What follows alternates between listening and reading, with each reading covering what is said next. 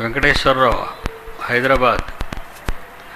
జైశాలి సింహగర్జంలో యేసుస్వామి అని వ్రాశారు. కానీ బైబిల్లో ఇది లేదు.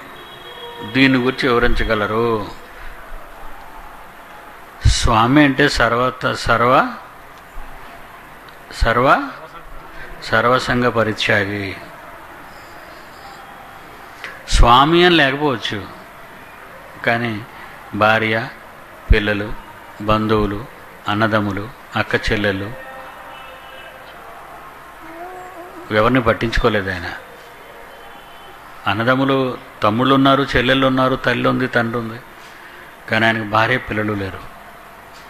దేవుని కొరకు సర్వం త్యాగం చేసిన మహనీయుడు. అలాంటి వారిని స్వాములు వారు అంటారు. స్వామి అనేది గౌరవం అనేటువంటి సంస్కృత పదం. బైబిల్ అంటే సంస్కృత బైబిల్ కొనుక్కొని చదవండి అందులో స్వాములు కనబడతారు.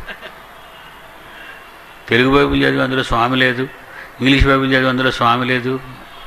కొన్ని మనకు కామన్ సెన్స్ ఉండాలా? కొన్ని మనం దేశప్రభు పెళ్ళి అయినట్టు లేదు పెళ్ళి లేనట్టు లేదు. మరి ఎలాగండి మనం చెప్పగలమంటే అంటే? కామన్ సెన్స్ అంటారు. ఏమంటే యేసుప్రభు అన్నం తింటారా? యేసుప్రభు దొడ్లోకి వెళ్తారా? యేసుప్రభు పాస్కి వెళ్తారా? ఈ ప్రశ్నలు కావు. మనిషి అన్న తర్వాత ప్రతివాడు పాస్కి వెళ్తాడు. మళ్ళాగా ఆకలి కొన్నాడు. మళ్ళాగే దప్పికి కొన్నాడు. మళ్ళాగా అన్నం తిన్నాడు. రొట్టెలు తిన్నాడు. తిన్నవాడికి దొడ్డుకి ఒకటికి రాదేటి? మరి యేసుప్రభు ఎక్కడ దొడ్డుకి వెళ్ళినట్టు కానీ పాస్కి వెళ్ళినట్టు కానీ లేదు కదని అంటారా? కామన్ సెన్స్ అంటారు దాన్ని. ఆ? అందుకే మీలాంటి వాళ్ళందరూ బైబిల్ యూనివర్సిటీలో చదవాలి.